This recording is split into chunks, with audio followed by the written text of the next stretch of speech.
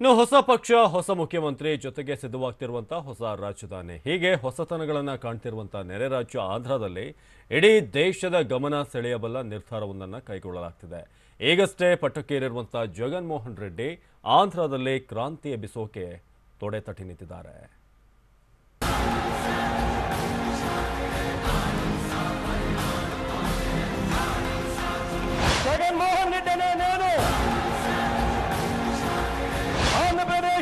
ముఖ్యమంత్రిగా.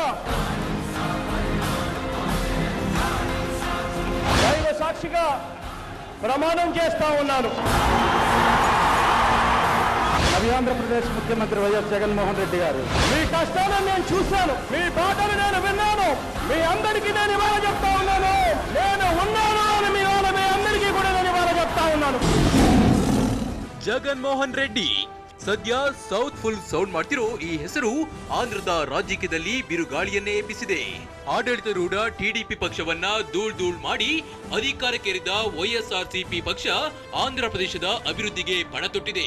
ವೈಎಸ್ಆರ್ಸಿಪಿ ವರಿಷ್ಠ ಹಾಗೂ ಆಂಧ್ರದ ನೂತನ ಸಿಎಂ ಜಗನ್ ಇದಕ್ಕಾಗಿ ನೂರಾರು ಕನಸು ಕಂಡಿದ್ದಾರೆ. ಅದರ ಮೊದಲ ಭಾಗವಾಗಿ ಟೆಂಡರ್ ಪ್ರಕ್ರಿಯೆಯಲ್ಲಿ ಭಾರಿ ಬದಲಾವಣೆಗೆ ಮುಂದಾಗಿದ್ದಾರೆ. ಅಳೆದರೆ ಬಳಗ, ನೂರಾರು ಸಲಗ. ಟೆಂಡರ್ ಅಕ್ರಮಗಳಿಗೆ ಜಗನ್ಮೋಹನ್ ರೆಡ್ಡಿ ಗುನ್ನ. ಹೊಸ ವ್ಯವಸ್ಥೆ ಜಾರಿಗೆ ತರಲು ನೂತನ ಸಿಎಂ ಸಿದ್ಧತೆ. ಅಂದಹಾಗೆ ಈ ಹಿಂದಿನ ಚಂದ್ರಬಾಬು ನಾಯ್ಡು ನೇತೃತ್ವದ ಸರ್ಕಾರದಲ್ಲಿ ನಡೆದಿದೆ ಎನ್ನಲಾದ ಅಕ್ರಮಗಳಿಗೆ ಬ್ರೇಕ್ ಹಾಕಲು ಜಗನ್ ಮುಂದಾಗಿದ್ದಾರೆ. ಅಧಿಕಾರಕ್ಕೇರುವ ಮೊದಲು ಮತದಾರರಿಗೆ ನೀಡಿದ್ದ ಭರವಸೆಗಳನ್ನೆಲ್ಲ ಈಡೇರಿಸಲು ಅವರು ಮುಂದಾಗಿದ್ದಾರೆ. ಟೆಂಡರ್ ವ್ಯವಸ್ಥೆಯಲ್ಲಿದ್ದ ಹಳೆ ಪದ್ಧತಿಗೆ ತಿಲಾಂಜಲಿ ಇಟ್ಟು ನೂತನ ವ್ಯವಸ್ಥೆ ಜಾರಿಗೆ ತರಲು ಆಂಧ್ರದ ನೂತನ ಸಿಎಂ ಜಗನ್ ಸಿದ್ಧತೆ ಆರಂಭಿಸಿದ್ದಾರೆ. ಈ ಹಿನ್ನೆಲೆಯಲ್ಲಿ ಆಂಧ್ರ ಹೈಕೋರ್ಟ್ನ ಚೀಫ್ ಜಸ್ಟಿಸ್ ಜೊತೆ ಅವರು ಚರ್ಚೆ ನಡೆಸಿದ್ದಾರೆ. ಆಂಧ್ರ ಪ್ರದೇಶದಲ್ಲಿ ಸದ್ಯ ಜಾರಿಯಲ್ಲಿರುವ ಟೆಂಡರಿಂಗ್ ವ್ಯವಸ್ಥೆಯಿಂದ ಅಕ್ರಮಗಳು ಹೆಚ್ಚಾಗಿದ್ದು ಈ ಪದ್ಧತಿಗೆ ಎಳ್ಳು ನೀರು ಬಿಡಲಾಗುವುದು. ಈ ಹಿನ್ನೆಲೆಯಲ್ಲಿ ಜುಡಿಷಿಯಲ್ ಕಮಿಷನ್ ವ್ಯವಸ್ಥೆಯನ್ನ ಜಾರಿಗೊಳಿಸಲು ಜಗನ್ ಸಿದ್ಧತೆ ಆರಂಭಿಸಿದ್ದಾರೆ. ಹೈಕೋರ್ಟ್ ನ್ಯಾಯಾಧೀಶರ ನೇತೃತ್ವದಲ್ಲಿ ಸಮಿತಿಯೊಂದು ರಚನೆಯಾಗಲಿದೆ. ಈ ಸಮಿತಿ ಸರ್ಕಾರದ ಯೋಜನೆಗಳನ್ನು ಪರಿಶೀಲಿಸಿ ಪಾರದರ್ಶಕ ವ್ಯವಸ್ಥೆ ಜಾರಿಗೆ ಸಹಕಾರಿಯಾಗಿದೆ. ಇನ್ನು ಸರ್ಕಾರ ಜಾರಿಗೆ ತರುವ ಯಾವುದೇ ಯೋಜನೆಯಲ್ಲಿ ಬದಲಾವಣೆ ಅವಶ್ಯಕವಿದ್ದರೆ ಸಲಹೆಯನ್ನು ನೀಡಲಿದೆ. ಹೀಗೆ ಈ ಹೊಸ ವ್ಯವಸ್ಥೆ ಆಂಧ್ರದಲ್ಲಿ ಜಾರಿ ಬಂದರೆ ಅಕ್ರಮಗಳಿಗೆ ಸಂಪೂರ್ಣ ಬ್ರೇಕ್ ಬೀಳಲಿದೆ.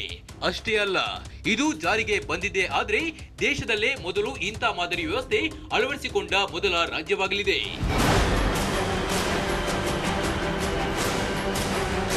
ಸರ್ಕಾರವೇನು ಕೋಟಿ ಕೋಟಿ ಸುರಿದು ಜನರ ಕಲ್ಯಾಣಕ್ಕೆ ಹಣ ಬಿಡುಗಡೆ ಮಾಡುತ್ತೆ. ಆದರೆ ಇದು ದಲ್ಲಾಳಿಗಳ ಜೇಬು ಸೇರಿ ಖಾಲಿಯಾಗ್ತಿತ್ತು ಆಂಧ್ರದಲ್ಲೂ ಕಾಮಗಾರಿಗಳಲ್ಲಿ ಅಕ್ರಮಗಳು ನಡೀತಿವೆ ಅಂತ ಗಂಭೀರ ಆರೋಪ ಕೇಳಿ ಬರ್ತಿತ್ತು ಆದ್ರೆ ಈಗ ಜಗನ್ ಜಾರಿಗೆ ತಂದಿರುವ ನೂತನ ವ್ಯವಸ್ಥೆ ಭ್ರಷ್ಟಾಚಾರ ಸದೆಬಡಿದು ಪರ್ಸೆಂಟೇಜ್ ಪದ್ಧತಿಗೆ ಅಂತ್ಯ ಹಾಡಲಿದೆ ಎಂಬ ಆಶಯ ಮೂಡಿದೆ. ಆದರೆ ಈ ಯೋಜನೆಯನ್ನ ಸರಿಯಾಗಿ ಕಾರ್ಯರೂಪಕ್ಕೆ ತರುತ್ತಾರಾ ಅನ್ನೋದೇ ಸದ್ಯಕ್ಕಿರುವ ಪ್ರಶ್ನೆ. Basavaraj, TV nine, Hyderabad.